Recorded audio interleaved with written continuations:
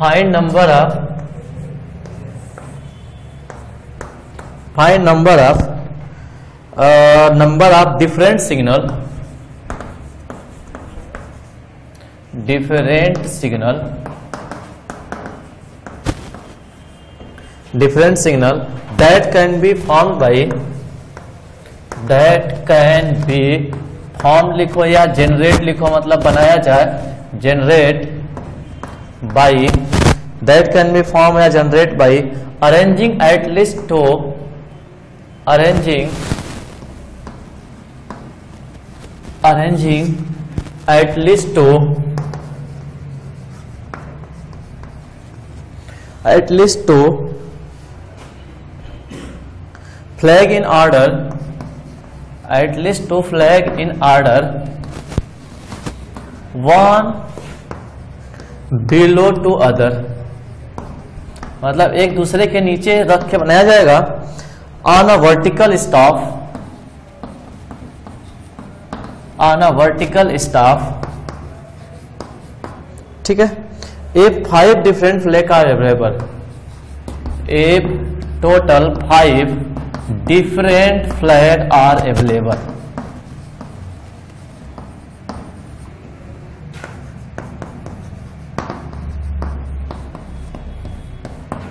कह रहा है कुल मिला के आपको बता, बताना है कि find number of different signal कितने अलग अलग सिग्नल बनाए जा सकते हैं। कम से कम that can be generated by arranging at least two यहाँ पे एटलीस्ट टू वर्ड का मतलब समझना कम से कम दो। कम से कम दो का मतलब दो भी हो सकता है तीन भी हो सकता है चार भी हो सकता है पाँच भी हो सकता है। सही है? तो फ्लैग इन ऑर्डर मतलब ऐसे बनाना है कि एक के नीचे एक एक के नीचे एक के नीचे एक जाएगा। आना वर्टिकल स्टाफ मतलब एक वर्टिकल स्टाफ रखना है जैसे वो रेलवे ट्रैक वगैरह का बनता है ना कि वहाँ एक ऊपर ग्रीन ब्लू येलो ऐसे टाइप का। तो कुल कितने तरह से हम सिग्नल बना सकते हैं? अपने को बताना जरा फटाफट बताएँ तब तो तक मैं अगला सवाल नोट कर देता हूँ। अगला सवाल है। अगला सवाल है फाइंड टू डिजिट नंबर इसमें रिपीटेशन अलाउड की ज़रूरत कहाँ पे है? फ्लैग में रिपीटेशन अलाउड की ज़रूरत कहाँ पे है? ठीक है नहीं है ना? फ्लैग में रिपीटेशन अलाउड की ज़रूरत है ही नहीं। देख लेते हैं कौन सा तरीका है लेकिन ठीक है देखते हैं। Find two find two digit number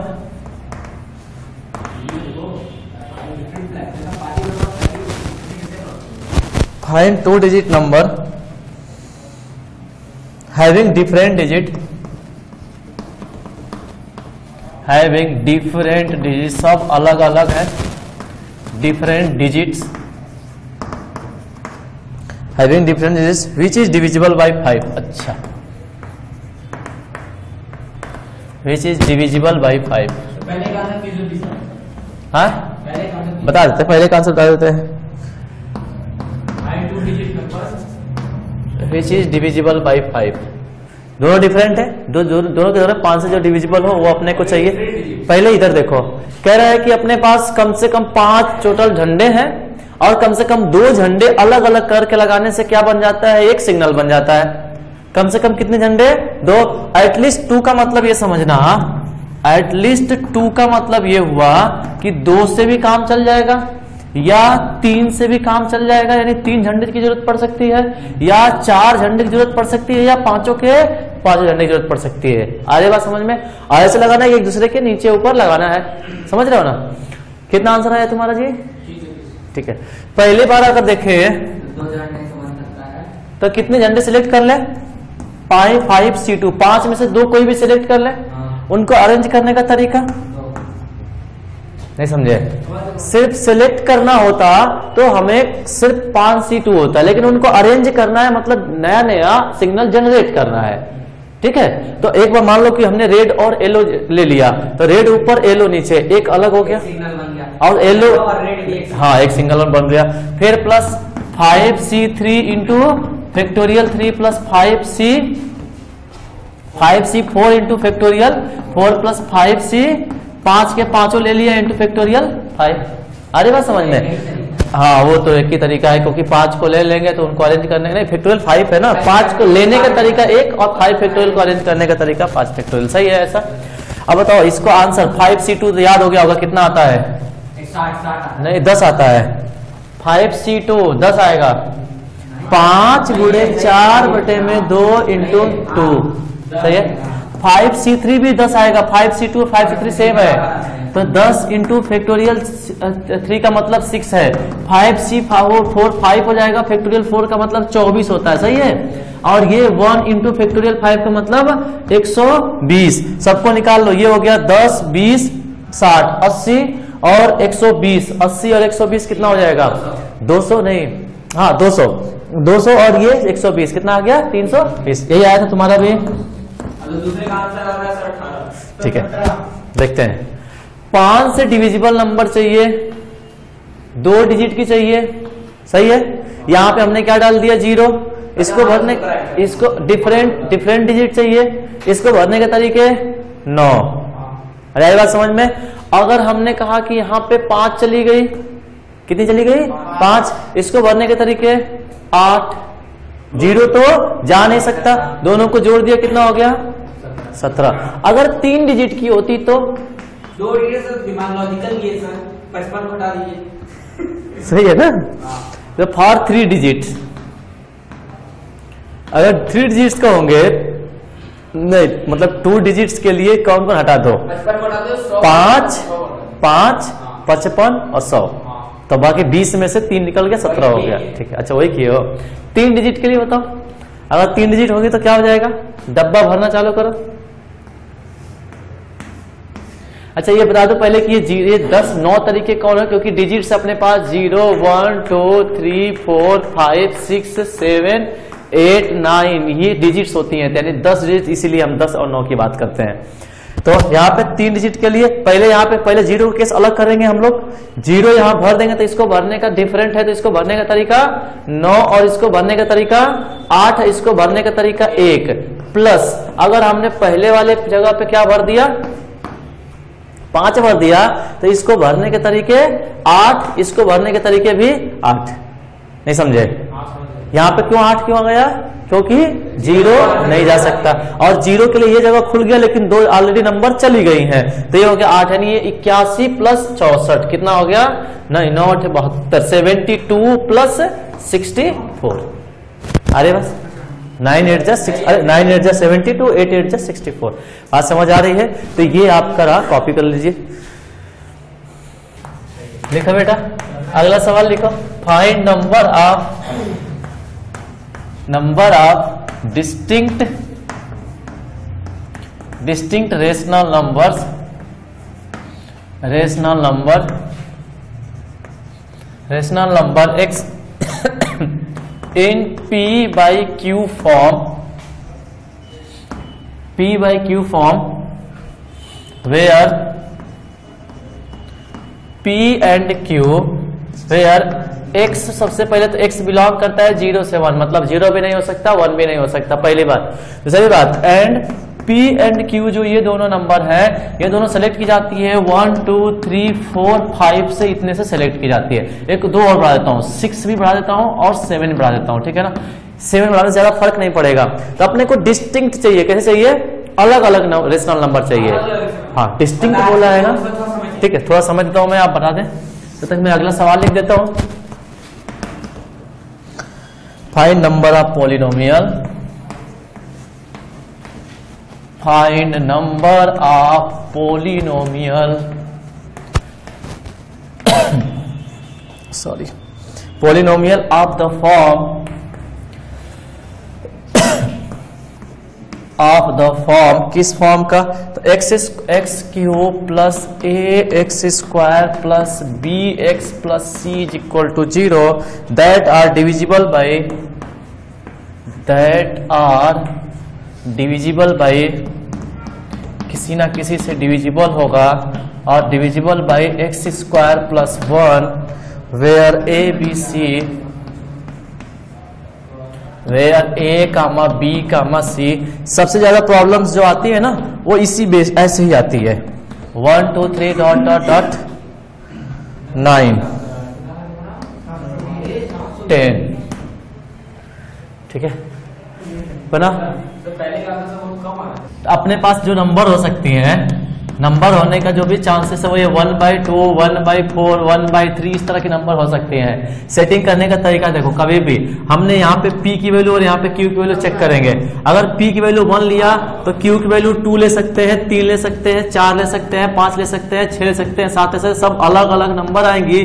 total number यहाँ पे हो जाएगा छह। एक, दो, तीन, चार, पाँच, छह one by two one by three one by four one by five one by six जिस दिन टू लेंगे, उस दिन यहाँ पे एक आ नहीं सकता टू भी नहीं आ सकता, तीन आ जाएगा, चार लेंगे तो टू बाई फोर चार लेंगे तो two by four one by two ऊपर आ चुका है तो चार नहीं ले लेंगे, फिर पाँच ले मतलब चार को मना कर दिया, फिर पाँच ले सकते हैं, छह ले सकते हैं टू बाई सिक्स मना कर दिया, क्योंकि ऑलरेडी वन बाई थ्री आ चुका है। अरे बात समझ में? ये सात तो एक, दो, तीन तीन तरीका हुआ, चार लेंगे तो हाँ तीन लेंगे तो तीन के लिए दो, तीन, चार चार ले सकते हैं, पाँच ले सकते हैं, छह नहीं ले सकते हैं, क्योंकि वन बाई टू हो चुका है, सात हो जाएगा तो ये आपका तीन तरीका। फिर आपका चार के बाद चार नंबर लेंगे, चार के लिए आपका हो जाएगा पाँच, और छह नहीं ले सकते क्योंकि टू बाई थ्री आ चुका है। छह नहीं ले सकते क्योंकि टू बाई थ्री आ चुका है, और सात हो जाएगा यानी दो, और पाँच के लिए आपका, पाँच के लिए तो कोई दिक्कत, टेंशन ही नहीं है मतलब छह और सात दोनों ही ले सकते हैं।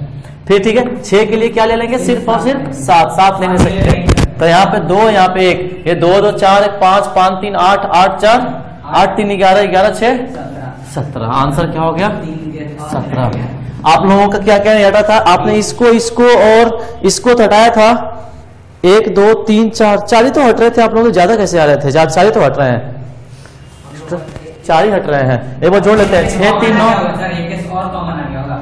चार डिफरेंट है एक और कॉमन हो गया अच्छा। अच्छा तीन मतलब ज़्यादा हो जाएगा। छह तीन नौ नौ तीन बारह बारह चार सोलह सत्रह। ठीक है सही है आंसर यहाँ पे देखो फाइंड नंबर ऑफ़ पोलिनोमियल चलो बनाओ बनाओ बनाओ। टाइम है।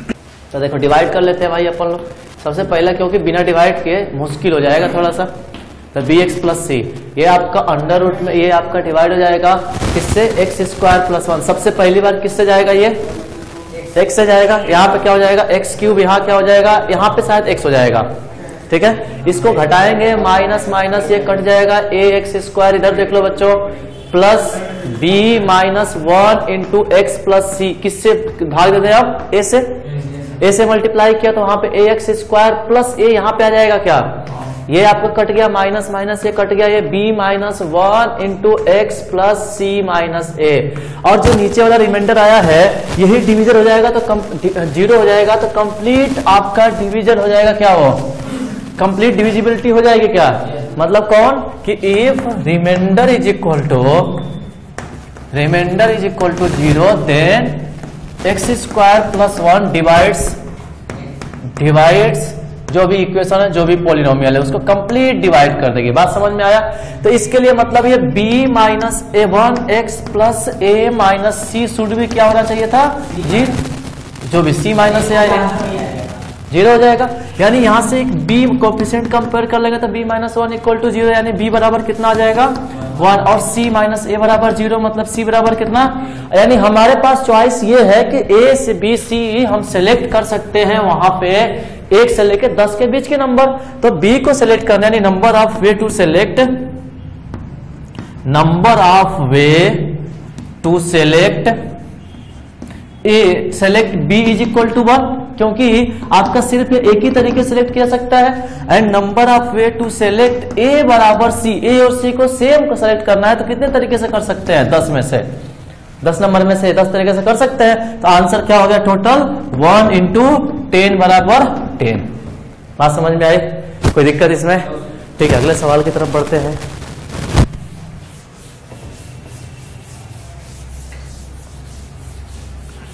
सबसे ज़्यादा प्रॉब्लम्स परेशान करती हैं इस तरह की ही, जो पीछे दो प्रॉब्लम कराया पी बाई क्यू अभी एपी वाली प्रॉब्लम्स कराऊँगा कि जब नंबर्स अगर एपी में रहेंगी तो उस केस में कैसे चलेगा? ये सबसे ज़्यादा प्रॉब्लम सबसे ज़्यादा प्रॉब्लम क्रिएट करती है, ठीक है ना? अच्छा रैंक प्रॉब्लम जरा बात करेंगे किस पे? रैंक प्रॉब्लम पे। हाँ हाँ बेसिक है, सब बिल्कुल बेसिक है रैंक प्रॉब्लम एक मान लो कि एक डिक्शनरी एक मान लो कि अभी बिल्कुल बिल्कुल बेसिक चल रहा है स्टार्टिंग है ये, अभी रैंक प्रॉब्लम अभी सब इसमें धीरे आने के बाद ही हम आगे बढ़ पाएँगे। ठीक है ना? अब जरा देखो इधर। एक अपने पास, मैं कह रहा हूँ कि एक, जैसे मान लो अपने पास एक मैंने कहा कि मेड एक शब्द है, क्या है? क्वेश्चन से स्टार्ट करो। एक अपने पास शब्द है क्या? मेड। एक अपने पास ये शब्द है मेड और मैंने कहा कि एक डिक्शनरी बनाई गई है जिसमें सिर्फ़ यही वर्ड लेके सारा का सारा डिक्शनरी तैयार किया गया है। कौन कौन word M A D E कितने वर्ड है? चार वर्ड है।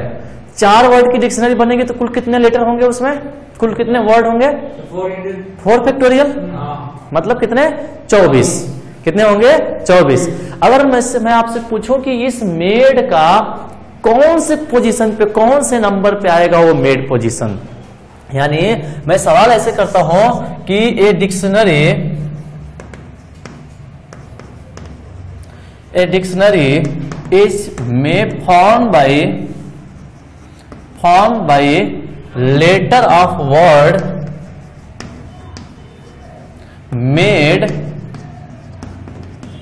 then on which position, on which position made lie, या मेड लाई किस पोजीशन पे ये आएगा या मेड का रैंक क्या होगा? आ रही बात समझ में? या रैंक का मेड क्या हो मेड का रैंक क्या होगा? जरा देखो, एक बार जरा मेरे से डिक्शनरी बनने का प्रोसेस समझ लो क्या होता है। डिक्शनरी बनने के प्रोसेस में सबसे पहले कितने लेटर का है ये? चार। जब डिक्शनरी खोलते हो आप तो उसमें देखोगे सबसे पहले किससे डिक्शनरी स्टार्ट होती है? ए से। किससे स्टार्ट होती है? देख लेते हैं। सबसे पहले आएगा ए अच्छा जैसे आपको चाहिए एम वर्ड का चाहिए तो आप ए के जितने लेटर होंगे सबको छोड़ दोगे आप? तो ए जब यहाँ पे है तो इसको लेके कितने लेटर बन सकते हैं? तीन फैक्टोरियल आगे बात समझ में? इसके बाद किस अच्छा इसका जरा इसको पहले आप लिख लो किससे? असेंडिंग ऑर्डर में। तो ए के बाद ए आएगा फिर ई आएगा फिर डी आएगा फिर एम आएगा। आया कि नहीं? अच्छा प्लस अब जिसके बाद स्टार्ट करेगा आपका डी से। डी से भी सारे वर्ड छोड़ देना पड़ेगा क्योंकि हमें आगे बढ़ जाना है डिक्शनरी में। तो ये आपका फैक्टोरियल थ्री तरीके से छोड़ दिया। फिर डी के बाद किससे स्टार्ट करेगा? डी के बाद सॉरी पहले नहीं सही है सही है सही है सही है। मैंने मैंने ये गलत लिख रखा है ना। ठीक है ना? इसके बाद ई से स्टार्ट करेगा। ई से भी कितने लेटर छोड़ देगा? तीन। मतलब यहाँ पे जितने आएँगे हमसे उससे कोई मतलब नहीं क्योंकि एम तक जाना है अपने को। अपने आप ही लिखा है। अब जो है कि यहाँ पे पहुँचेंगे अपन लोग। यहाँ पे अब आएगा एम एम आते ही अपन रुक हाँ रुक जाएँगे। फिर रुक जाओ इसके बाद कौन आएगा? एम के बाद पहले ए आएगा। ए के बाद फिर कौन आएगा? डी ही आएगा। अरे बात समझ में? और डी के बाद कौन आएगा? ई आएगा। अरे बात समझ में? बात समझ में आया कि नहीं? तो कौन सा लेटर लेटर वाला बढ़ जाएगा? ये आपका क्या? तो ये देखो plus factorial three plus factorial three plus factorial three plus ये वन इस पोजीशन पे होगा यानी इसका रैंक जो हो जाएगा वो उन्नीस हो जाएगा। आधी बात समझ में? रैंक इज़ इक्वल टू उन्नीस। एक तरीका और देखो साठ तरीका। है। ट्रिक बता रहा हूँ ना? किसी का भी किसी का? नहीं किसी का किसी भी वर्ड का ट्रिक बता रहा हूँ। हाँ ऐसे प्रॉब्लम है, किसी भी तरह, कितने भी वर्ड रहेंगे ट्रिक बता रहा हूँ, देखो। सबसे पहले आप लिख लो, ये जो भी मेड है, यही चाहिए अपने को, ये चाहिए, ठीक है? ध्यान से सुनना, ये थोड़ा सा जो ट्रिक है ना, ये ट्रिक आपको एक बार में समझ नहीं आएगी, हमें दो तीन सवाल कराने पड़ेंगे। आज आज से लेकर कल तक में मैं करा दूँगा दो तीन सवाल ट्रिक के हिसाब से। सबसे पहले आपने लिख लिया मेड ये चाहिए वर्ड ठीक है? इसके बाद आप यहाँ पे असेंडिंग ऑर्डर में लिखो ए डी ई फिर एम आ गई बात समझ में? अब इनका रैंक देना चालू करो। इनकी रैंक ज़ीरो से हमेशा क्या रैंक देना चालू करेंगे और रैंक स्टार्ट किससे करेंगे? ज़ीरो से। तो ज़ीरो वन टू थ्री अच्छा अपने को एम चाहिए क्या? पहला वर्ड क्या चाहिए? एम एम का नहीं एम चाहिए एम एम एम का रैंक क्या है यहाँ पे? तीन। इंटू एम के बाद कितनी लेटर्स हैं? तो उन्हों तीन फैक्टोरियल तरीके से अरेंज हो सकती है। एम गायब हो गया। एम गायब हो गया। आ गई बात समझ में? अब जरा बताओ इसके बाद प्लस क्या वर्ड आएगा? प्लस फिर से अब फिर से हम इनको रैंक देंगे। ज़ीरो वन टू रैंक दिया हमने। इसके बाद वर्ड कौन सा चाहिए था अपने को? ए ए का मतलब आपने ज़ीरो इसका रैंक क्या है? ज़ीरो इन टू इसके बाद कितने वर्ड है? टू फैक्टोरियल आई बात समझ में? ज़ीरो को काट दिया। इस क्योंकि एम का काम खत्म हो गया। उधर से ऊपर से देखो। यहाँ यहाँ से देख के यहाँ से देख के। हमें सबसे पहले एम चाहिए था तो एम की रैंक ढूंढ लिया तीन थे। तीन के बाद से कितने लेटर थे? तीन। आगे बात समझ में? तीन फैक्टोरियल तरीके से उनको हमने घुमा लिया। आप देखोगे तो यहाँ पे वही आया था फैक्टोरियल तीन फैक्टोरियल तीन फैक्टोरियल तीन। थ्री इंटू फैक्टोरियल तीन। आया था ना वो बात? अब इसके बाद देखना सिर्फ़ एक वन आएगा इसके बाद। हमें हाँ अब इसके बाद इसके अगला वर्ड पहले आएगा उसको लेके चलेंगे। हाँ अब इसके बाद ए ए को ए को हमने काट लिया फिर अब फिर से रैंक देंगे। अब अपने पास ए, ए और एम खत्म हो चुका है। डी और ई बचा हुआ है। डी का रैंक कितना? नहीं ज़ीरो यहाँ से स्टार्ट होगा नया सिरे से। और ये वन डी चाहिए तो प्लस ज़ीरो अब डी का लिए ज़ीरो इंटू उसके आगे का एक। आई बात समझ में? काट दिया। आई बात जो बच गया उसको अपने आप ज़ीरो फैक्टोरियल लगा दो अब ऐसा वन होता है अरे यार बात समझ में? बोलो क्या आंसर होता है यहाँ से? ये थ्री इंटू सिक्स प्लस ये ज़ीरो ये ज़ीरो वन क्या उन्नीस आ गया? अच्छा अब- वही बचा है अब कोई भी मतलब ज़ीरो बचेगा तो तो नहीं उसको अगला नंबर देने के लिए ज़ीरो फैक्टोरियल लास्ट में एकदम ज़ीरो फैक्टोरियल अगला उसकी अगली रैंक कुदाने के लिए। इतना तो छोड़ चुके हैं इतना हम छोड़ चुके हैं। अगला कुदाने के लिए मतलब अगली रैंक कौन सी है? कौन से नंबर पे आएगा? कौन से नंबर पे आएगा? इसके लिए आपका एक जोड़ दिया। एक और, अभी बस बताते हैं आप लोग में से किसी एक का नाम ले लेते हैं। मान लो राहुल है। पाँच वर्ड है? जरा बनाओ पाँच वर्ड को लेके। कितने आएँगे? कि ये, मैं सवाल लिख देता हूँ एक बार पूरा। Find rank of word Rahul find rank of word Rahul जिसके बाद जिसके बाद कितने नंबर राहुल आर के बाद ए एच यू एल कितने हैं। नहीं हाँ हाँ हाँ हाँ मतलब ये चार है तो चार factorial find rank of word Rahul from dictionary which made by which made by which made by later Rahul इसी राहुल के लेटर से ही बनी हुई है। डिक्शनरी इसमें सबसे खास बात यह है कि इसमें सब वर्ड अलग अलग है। सब लेटर अलग अलग है। लेटर अगर आपका रिपीट करेंगे तो उसका तरीका थोड़ा सा बदल जाएगा लेकिन रैंक प्रॉब्लम यही तो रहेगा ऐसे तो देखो, इसका क्या करना है अपने को? राहुल ट्रिक से स्टार्ट ट्रिक से करते हैं इसको। दोनों तरीके से कर लेंगे, पहले ट्रिक से करते हैं। ट्रिक ये कहती है कि पहले आप राहुल को लिख लो बच्चों। राहुल को आपने लिख लिया यहाँ पे। फिर इनको इस, इनको अल्फाबेटिकल क्रम में लिखो अल्फाबेटिकल ऑर्डर में लिखो तो अल्फाबेटिकल ऑर्डर में पहले आएगा ए ठीक है ना? थोड़ा और इधर से लिखते हैं। पहले आएगा ए फिर आएगा आपका ए के बाद आएगा एच फिर आएगा एल फिर आएगा आर फिर लास्ट में आएगा यू ठीक है? अब हम इसका रैंक देना चालू करते हैं। Zero, one, two, three, four.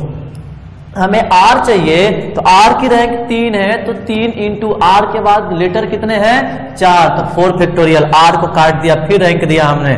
Zero, one two three अपने पास ए का चाहिए ए का हमने काट दिया रैंक आपका है ज़ीरो उसके आगे नंबर है एक, दो, तीन तीन फैक्टोरियल आ गया। प्लस रिदम है। रिदम है, एकदम रिदम है, एकदम शानदार तरीके से होता है, एकदम बिल्कुल रिदम है ये। फिर अगला, फिर से इसका रैंक दो। हमने काट दिया, इसका रैंक अब यहाँ से ज़ीरो फिर वन फिर टू अपने को कौन चाहिए? एच अब एच का रैंक देखा जाए तो ज़ीरो ही है और इसके आगे नंबर है दो तो टू फैक्टोरियल हमने इस एच को भी काट दिया। अब फिर अपने पास बचा ये और ये।